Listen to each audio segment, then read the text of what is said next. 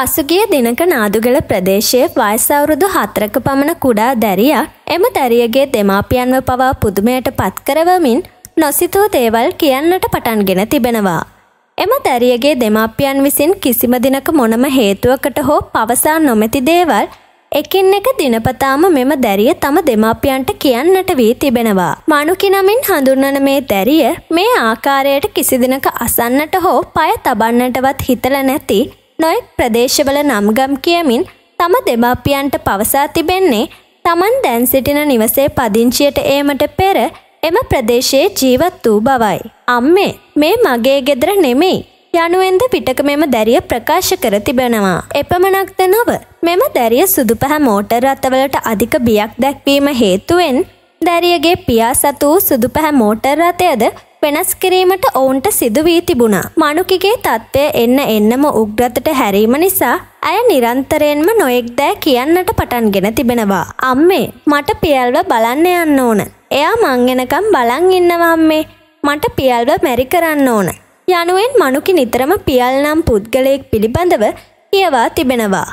මේ හේතුවෙන් තම දියණිය පුනරුත්පත්තියක් කියවනවා යයි සිතූ දෙමාපියන් ඒ පිළිබඳ දක්ෂ මනෝවෛද්‍යවරයෙකු නිවසට කැඳවාගෙන මනුකිගෙන් ප්‍රශ්න කිරීම් කර තිබෙනවා. එහිදී මේ දැරිය පාපොච්චාරණය කර තිබූ දේවල් අදහාගන්න කාටවත්ම හැකියාව තිබුණේ නැහැ. ඒ දැරිය ප්‍රකාශ කර තිබුණේ මෙවන් කතාවක්. මං අවුරුදු හයකට කලින් පියල් එක්ක පොඩි ෂොප් එකක් පටන් අරගෙන හිටියේ. පියල්ගේ මගේ එෆයා එකට අම්මල තාත්තල කැමැත්තෙන් හිටපු හින්දා අපි මැරි කරන්න තමයි හිටියේ. ඒ වුණාට දවසක් එයයි මයි අපේ සුදුපාට කාර් එකේ අපිට ගෙයක් බලන්න ගිහින් නැද්දී අපි දෙන්නගේ වාහනේ ඇක්සිඩන්ට් වුණා. ඊට පස්සේ මං සුදුපාට වලාකුලක් අස්සෙන් පාවෙලා පාවෙලා ඈතට ඈතට ගියා. මිනිස්සු වට වෙලා පියල්වයි මාවයි හොස්පිටල් අරගෙන ගියා. මම අහසට වෙලා සේරම බලාගෙන හිටියේ. ඊට පස්සේ හිටි හැටියේම ලොකු වලාකුලක් ඇවිල්ලා මාව වහගෙන මට මුකුත්ම පේන්නේ නැතුව ගියා. මේ විදියට මේ දැරිය තම පෙරභවය පිළිබඳ දීර්ඝ විස්තරයක් කිරීමෙන් අනතුරුව මනෝවෛද්‍යවරයාගේ තීරණය වූයේ දැරිය පවසන ආකාරයට මෙම පියල් නම් පුද්ගලයා සොයාගෙන යාමයි. ඒ අනුව ඊට පසුදිනම දැරියගේ මඟ පෙන්වීම යටතේම පියාගේ නිවස සොයාගෙන යන අතරමඟදී ඇගේ වෙළඳ සැලයයි කියූ කුඩා කඩයක්ද දැරිය විසින් ඔවුන්ට පෙන්වා තිබෙනවා. නමුත් ඒ වෙළඳ සැල දැන් වසා දාලයි තියෙන්නේ. පියාගේ නිවස ළඟ මෝටර් රථය නතර වූ වහාම මනුකි මෝටර් රථයෙන් බැස ගොස් අර නිවස ඇතුළටම දිව ගියේ හුරු පුරුදු තැනක් වගේ. අනතුරුව පුදුමයෙන් නම් මනුකිවත් වඩාගෙන නිවසෙන් එළියට පැමිණුනේ කඩවසම් තරුණයෙක්. සොරි අපෙන් කරදරයක් වුණා නම් පියල් කියන්නේ ඔයාටද? ඒකට කමක් නැහැ.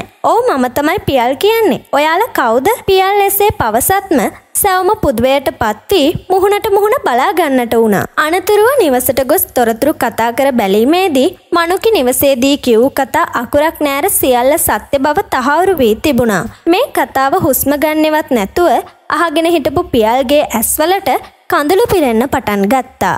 එසේ ඔහුගේ ඇස් කඳුලින් තෙත්තුනේ ඔහු තවමත් ඇයට අවංකවම ආදරය කරන නිසාමයි. මනුකි තම පෙර ආත්මය ඡායාරූප කිහිපයක් අතටගෙන ඒවා බලමින් අතීත මතක සිහිපත් කළේ ඒවා දින කිහිපයකට පෙර එම සිදුවීම් සිදුවූවා මෙන් සමාන මතකයකි. අවසානයේ පියල් පැවසූ මෙම වචනවලට කාගෙත් ඇස් කඳුලින් තෙත්තුණා.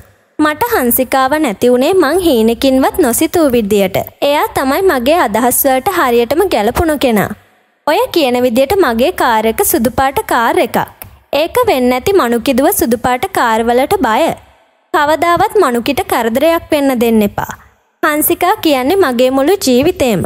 ඔයාලා කැමතිනම් මම මනුකිට හොඳ යාළුවෙක් වගේ ඔයාලගේ ෆැමිලි මෙම්බර් කෙනෙක් විදියට එයාට ආදරය කරන්නම්. මං පොරොන්දු වෙනවා එයාව මං මගේම දුවෙක් විදියට බලා ගන්නම කියලා. මං අවුරුදු හයක් තිස්සේ නොවිදනා දුක්වින්ද මගේ හංසිකාව අමතක කරන්න. ඒත් මට ඒක කරගන්න බැරි වුණා. අද මගේ හංසිකා මනුක් විදියට මගේ ඇස් ඉස්සරහට ඇවිත් ඉන්නවා. ඒ නිසා මට ජීවත් වෙන්න මේ දේ හොඳටම ඇති. පුළුවන් නම් මගේ ජීවිතේට ඒ සතුට විතරක් දෙන්න. ඔයාලට ගොඩක් පිං. පියල් පැවසුවේ කඳුළු පිරිදෙනතින්. අවසානයේ ඔහුගේ කතාවට දෙමාපියන් එකඟ වුණත් මනෝ වෛද්‍යවරයා පවසා තිබුණේ තව අවුරුද්දක් දෙකක් යන විට මනුකිට මේ සියලු මතක නැතිවී යාමට වැඩි ඉඩකඩක් ඇති බවයි. ඉතින් යාළුවනේ දිනපතා මෙවැනි වීඩියෝ නැරඹීම සඳහා පහත බටනය ක්ලික් කර අපව සබස්ක්‍රයිබ් කරන්න.